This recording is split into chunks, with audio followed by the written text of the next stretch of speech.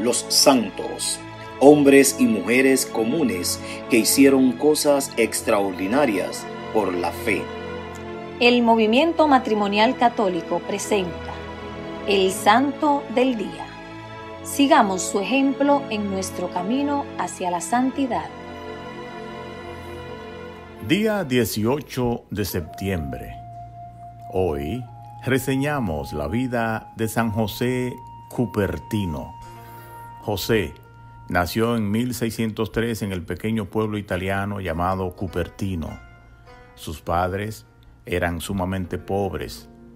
El niño vino al mundo en un pobre cobertizo pegado a la casa porque el papá, un humilde carpintero, no había podido pagar las cuotas que debía de su casa y se la habían embargado. Murió el papá y entonces la mamá, ante la situación de extrema pobreza en que se hallaba, trataba muy ásperamente al pobre niño y éste creció debilucho y distraído. Se le olvidaba hasta el comer. A veces pasaba por las calles con la boca abierta mirando tristemente a la gente y los vecinos le pusieron por sobrenombre el boqui abierta. Las gentes lo depreciaban y lo creían un poca cosa, pero lo que no sabían era que en sus deberes de piedad era extraordinariamente agradable a Dios, el cual le iba a responder luego de maneras maravillosas. A los 17 años pidió ser admitido de franciscano, pero no fue admitido. Pidió que lo recibieran en los capuchinos y fue aceptado como hermano lego. Pero después de ocho meses fue expulsado porque era en extremo distraído. Dejaba caer los platos cuando los llevaba para el comedor. Se le olvidaban los oficios que le habían puesto. Parecía que estaba siempre pensando en otras cosas. Por inútil, lo mandaron para afuera.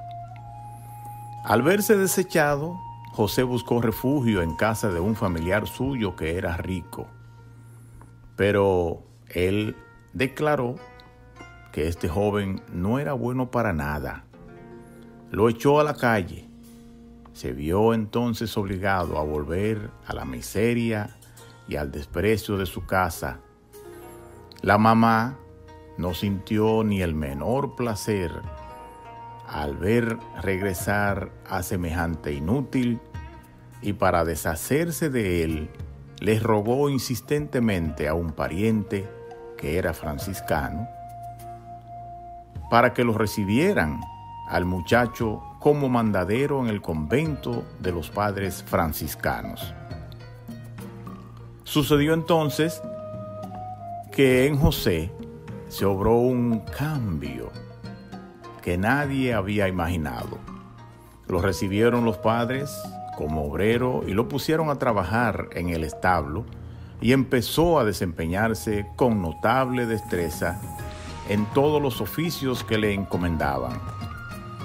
Pronto, con su humildad y su amabilidad, con su espíritu de penitencia y su amor por la oración, se fue ganando la estimación y el aprecio de los religiosos y en 1625, por votación unánime de todos los frailes de esa comunidad, fue admitido como religioso franciscano.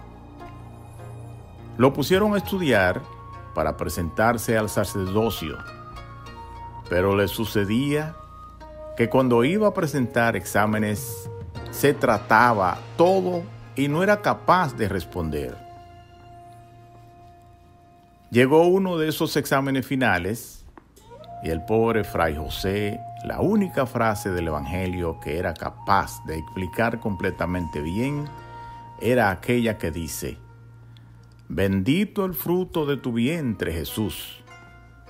Estaba asustadísimo. Pero al empezar el examen, el jefe de los examinadores dijo, voy a abrir el Evangelio y la primera frase que salga será la que tiene que explicar. Y salió precisamente la única frase que el Cupertino se sabía perfectamente. Bendito sea el fruto de tu vientre. Llegó al fin el examen definitivo en el cual se decidía quiénes sí serían ordenados. Y los primeros diez que examinó el obispo respondieron tan maravillosamente bien todas las preguntas que el obispo suspendió el examen diciendo, ¿para qué seguir examinando a los demás si todos se encuentran tan formidablemente preparados? Y por ahí estaba haciendo turno para que lo examinaran el José de Cupertino, temblando de miedo por si lo iban a descalificar, y se libró de semejante catástrofe. Ordenado sacerdote en 1628, se dedicó a tratar de ganar almas por medio de la oración y de la penitencia Sabía que no tenía cualidades especiales para predicar ni para enseñar, pero entonces suplía estas deficiencias ofreciendo grandes penitencias y muchas oraciones por los pecadores. Ayunaba a pan y agua muchos días. Se dedicaba con gran esfuerzo y consagración a los trabajos manuales del convento que era para lo único que se sentía capacitado. A los que le consultaban problemas espirituales, le daba siempre un remedio. Rezar. No cansarse nunca de rezar, que Dios no es sordo, ni el cielo es de bronce. Todo el que pide, recibe. Murió el 18 de septiembre del año 1663 a la edad de 60 años. Fue canonizado el 16 de julio del año 1767 por Clemente XIII.